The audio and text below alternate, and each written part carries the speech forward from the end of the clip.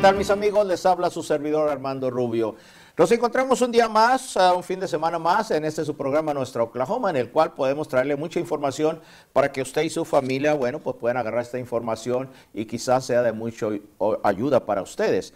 Nuestro invitado el día de hoy ya ha estado anteriormente aquí en el programa. Él es el doctor Renieri España. Él es originario de Honduras, lleva nueve años en Oklahoma City y trabajando para la Agencia Latina o Latino Community Development Agency por los últimos ocho años. Es el coordinador de Bienestar y Salud y viene a hablarnos acerca de la Agencia Latina, los servicios que están prestando ahora que, bueno, pues encuentran problemas con, la, con lo que viene siendo la, uh, coronavirus y bueno, viene a hablarnos acerca de qué es lo que se puede hacer y qué están haciendo ellos. Bienvenido a doctor Renier España, gracias por estar con nosotros el día de hoy y bueno, vamos a ver qué noticias nos trae usted de la, de la Agencia Latina, estarán abiertos igual que anteriormente, cuáles son los programas que están atendiendo. Platíquenos un poquito acerca de eso. Sí, don Armando, la verdad la Agencia Latina no ha cerrado sus puertas al público, estamos trabajando desde las 8 y media de la mañana hasta las 5 de la tarde en el programa de salud, ¿no? Esto es importante que la gente lo sepa porque hay muchos eh, programas que, le pueden beneficiar a la comunidad. Eh, dentro de esos programas, lo que más estamos haciendo énfasis en este momento es el de SNAP o de estampillas de alimentos. Eh, tenemos el programa también de nutrición, de prediabetes, el programa de diabetes y enfermedades crónicas. Yo quiero hablar bastante acerca de lo de SNAP o estampillas de alimentos porque estamos viendo que la población llega, algunos han perdido sus trabajos y esa es una opción que tiene la comunidad hispana para que eh, puedan llegar a recibir este beneficio siempre y cuando cumplan algunos requisitos que son eh, necesarios de acuerdo a la ley de los Estados Unidos. Em, si cumplen con esos requisitos, entonces tendrán ese beneficio, ¿no?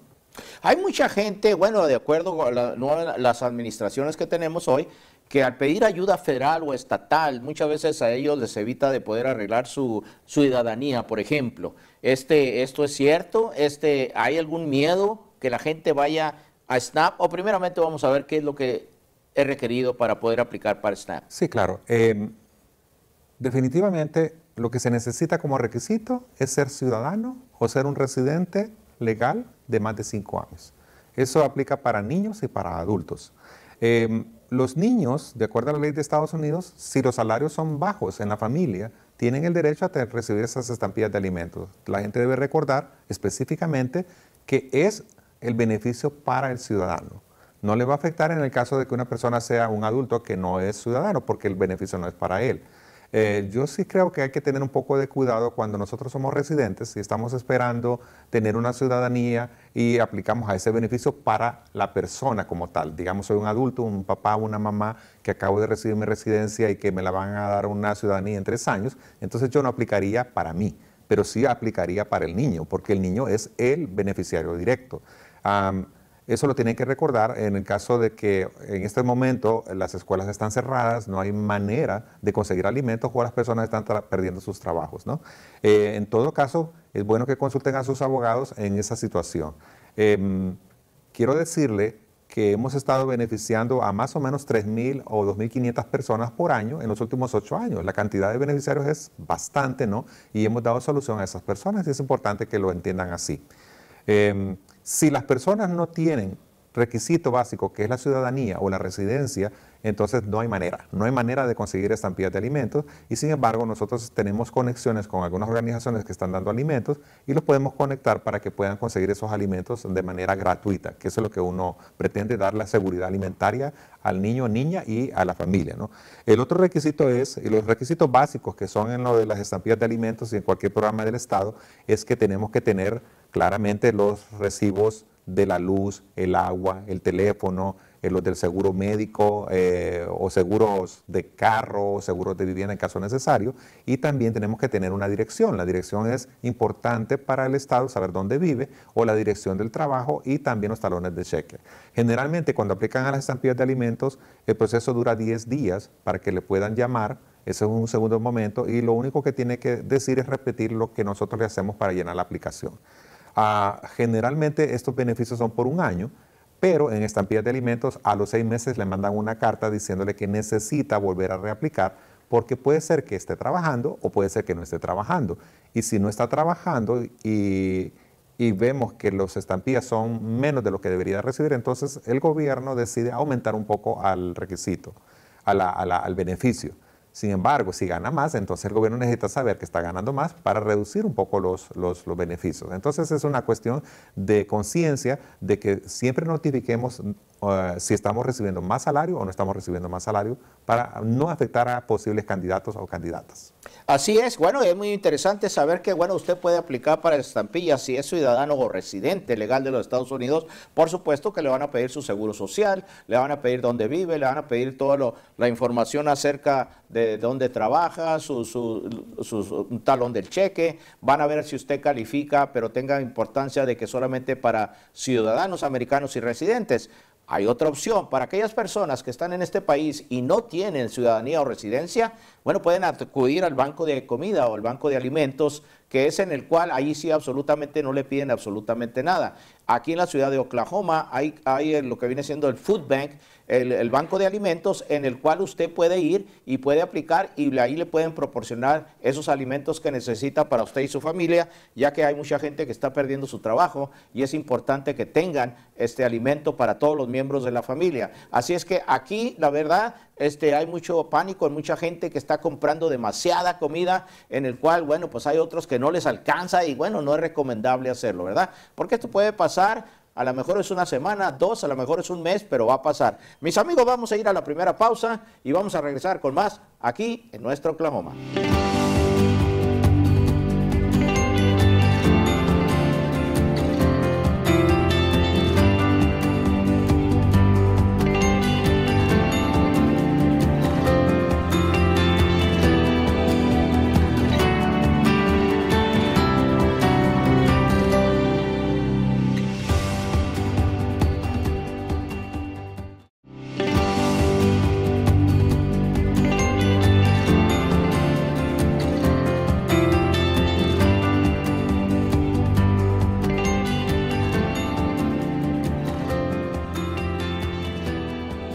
Amigos, ya estamos una vez más con ustedes después de esa breve pausa, dando las gracias por permitirnos entrar a sus hogares.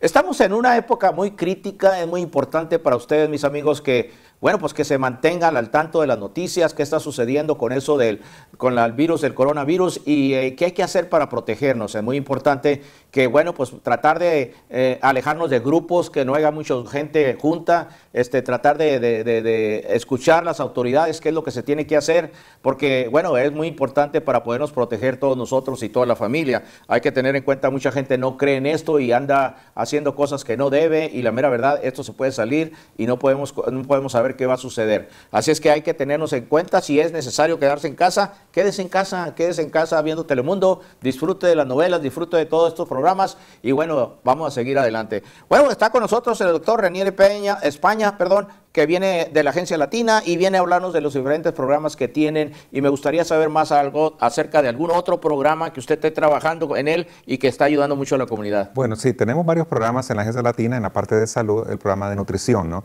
El programa de nutrición es uno de los programas más exitosos a través de la familia saludable, le decimos, donde los padres y los hijos pueden participar en clases con nosotros, un promedio de seis clases y aprender cómo alimentarse saludablemente y así evitar enfermedades como la diabetes, prediabetes, obesidad o, enfermedades como la hipertensión, que es una de las que por nutrición nosotros podemos adquirir y nos puede afectar en la vida. ¿no? Tenemos otros programas ya específicamente como el de prediabetes, que es un programa auspiciado por el CDC, que es un programa exitoso totalmente, que lo que quiere es que la persona no desarrolle la diabetes.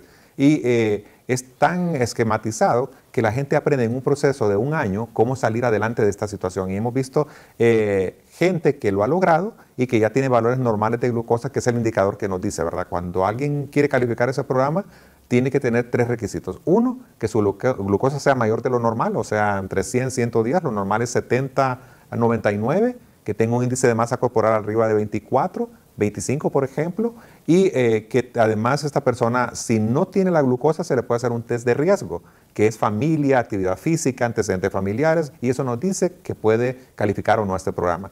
Ah, está el de las enfermedades crónicas, que es otras enfermedades como la hipertensión, como la obesidad, que lo podemos controlar en programas más o menos de tres a seis meses y es exitoso también.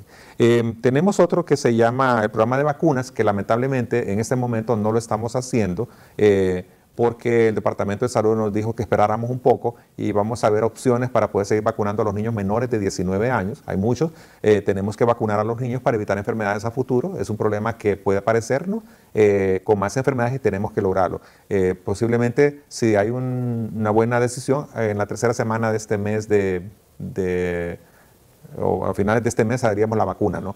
Y hay otros programas en la Agencia Latina que son complementarios, como por ejemplo eh, el test de enfermedades de transmisión sexual. En los jovencitos está la parte del test de drogas, que, está, que es importante tomarlo, o violencia doméstica, para ayudar a las mujeres a, confrontar estas situaciones de violencia doméstica. Em, en fin, una cantidad, tenemos 22 programas en la Agencia Latina que pueden servirles a la comunidad. 22 programas que les pueden ayudar a todos ustedes, quizás no lo necesite ninguno de ustedes y qué bueno porque pues está viviendo una vida saludable en compañía de toda su familia, pero pues si tiene usted algún problema médico, algún problema social, algún problema dentro de la familia como es la violencia doméstica, bueno pues se pueden comunicar con ellos y ellos les pueden dar la mano que pueden hacer porque la realidad es que en nuestra comunidad hispana existe mucho la violencia doméstica, principalmente entre pareja y pareja, en el cual, bueno, pues no es aceptable aquí en Estados Unidos. Una persona que tenga una violencia doméstica puede ser cargo como una felonía y esa persona puede perder los beneficios de poderse hacerse residente, inclusive ciudadano. Eso es muy importante que hay que tenerlo en cuenta de que si hay un problema en familia, una violencia doméstica, bueno, pues comuníquese a la agencia latina al 236-0701, el teléfono área 405-236-0701. Ellos están abiertos de lunes a viernes de las 8 y media de la mañana a las 5 de la tarde. Recuerden que están para sirviendo a la comunidad y llevan, bueno, pues ya desde 1991. Volvemos después de la pausa.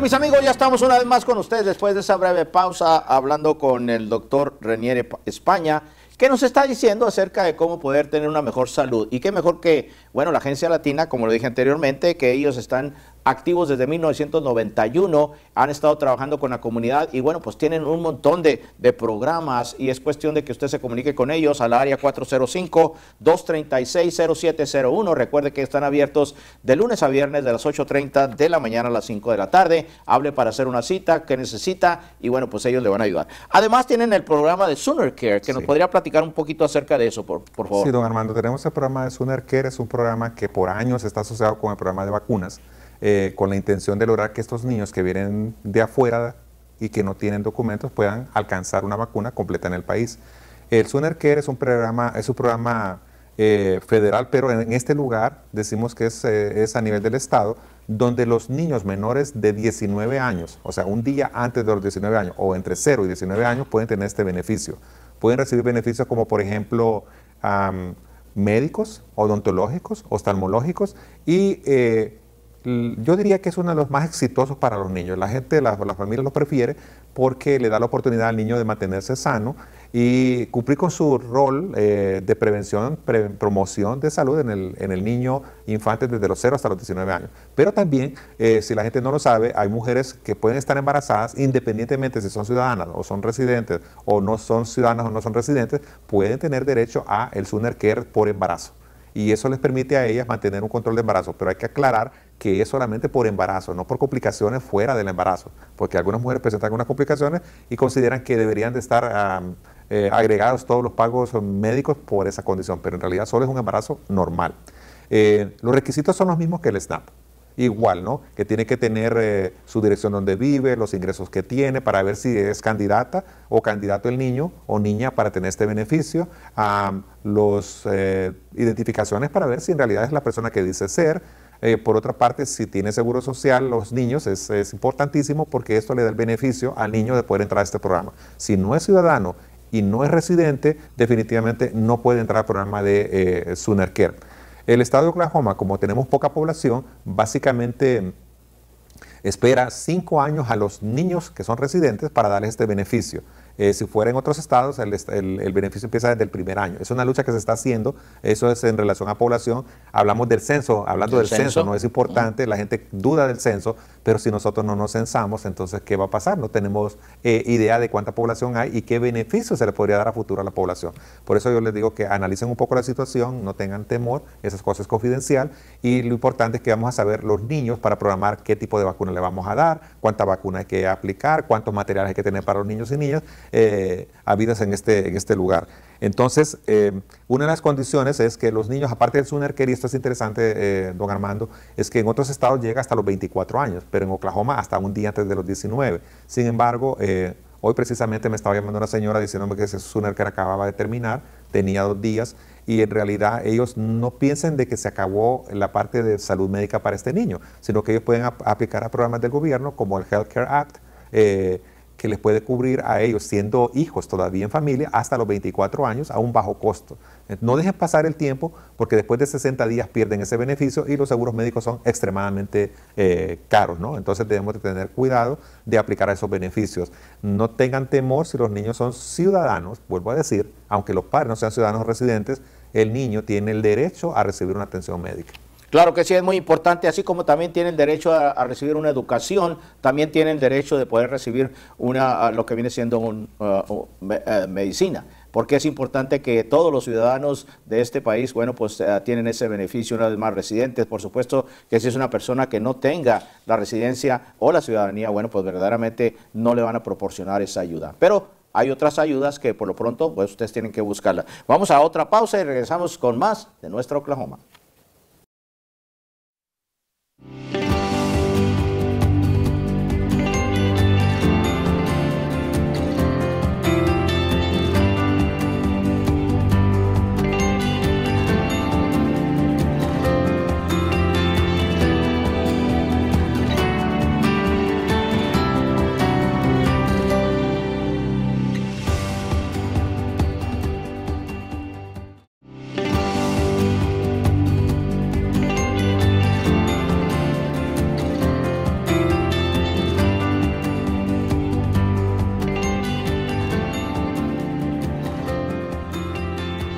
Mis amigos, ya estamos una vez más con ustedes recordándole que, bueno, está el censo. El censo es muy importante llenar el censo porque de eso depende del dinero que va a recibir el Estado de Oklahoma para beneficios como estos. Es muy importante que todos nos hagamos contar para que sépanos exactamente cuántos de nosotros hay en el Estado de Oklahoma. Este, no tenga ningún miedo, este, este censo, este formulario no va a dar a las manos de ninguna agencia, ni la policía, ni el ICE, ni absolutamente nada es privado, pero sí lo necesitamos porque si no nos hacemos contar, perdemos dinero, el Estado de Oklahoma pierde dinero, que mucho de este dinero una vez más para programas como estos, así como la educación, como las carreteras, como la, luz en las, carreteras, tantas cosas, los, los puentes, tanto que, que pueden eh, el gobierno este, proporcionar este dinero, ¿verdad? Ah, y ustedes también están muy involucrados en eso, ¿verdad?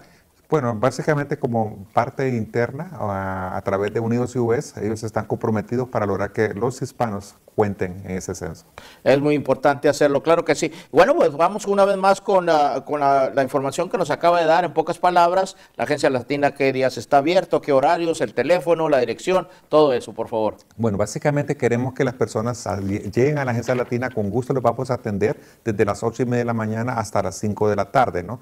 Eh, los programas están abiertos para todas las personas. Los invitamos a que lleguen, a que reciban este beneficio y no dejen pasarlo, porque uno no sabe qué va a pasar dentro de unas dos semanas, tres semanas, y todo eh, debemos de lograr estar eh, fuertes en nuestra sociedad. Pues ustedes pueden llegar, eh, nos pueden llamar al teléfono de nosotros, que es el 405-236-0701, o al teléfono 405-919-4074. Es un teléfono alterno eh, celular que nos permite a, nosotros tener ese contacto y confidencialidad que la persona se merece. Eh, los invitamos, están, estos servicios, ah, vuelvo a aclarar, son completamente gratuitos. ¿no? Y también son en español, así es que si usted tiene alguna pregunta, por favor, marque el teléfono 405 236-0701 o el teléfono 405-919-4074. En cualquiera de los dos lo van a atender, por supuesto, en español. El principal es el de la oficina, el otro es de celulares. Por favor, trate de hacerlo de las 8 y media de la mañana a las 5 de la tarde, de lunes a viernes. Ellos están allí para servir a toda la comunidad.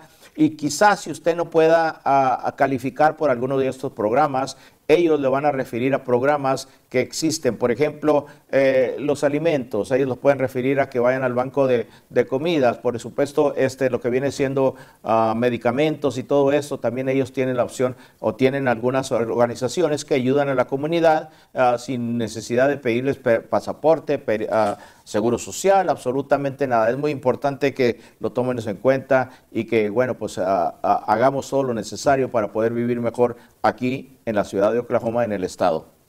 ¿verdad? Claramente. ¿Alguna otra cosita que quiera añadir? No, básicamente que se cuiden, ¿no? Que se laven esas manos frecuentemente eh, con medida de prevención, que mantengamos la distancia como dice el gobierno, ¿no? Y que sigamos todas las instrucciones que dice el Estado para que nos mantengamos saludables.